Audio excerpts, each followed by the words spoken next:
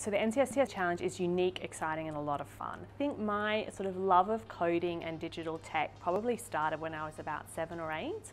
My brother and I would do um, local area network games at home and I was often interested to find out why the cutscene was so clunky, why the graphics weren't great and that kind of got me quite interested in understanding the back end component to that.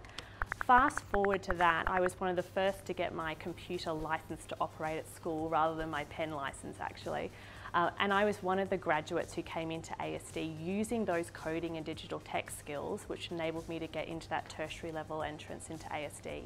Fast forward to now, where I'm in the senior leadership team in the Australian Cybersecurity Centre, and I'm using those coding skills that I gained in primary school to effectively interrogate unique intelligence data sets and also improve our capability to protect um, Australians online. Give it a go. There's a whole range of skill sets of the people who are in this competition. Even if you're not really sure what coding is, but you've heard IT is kind of fun, or you've heard that someone might end up creating a computer game as a result of coding, give it a go. Get in there, talk with other people who you know and just put yourself out there.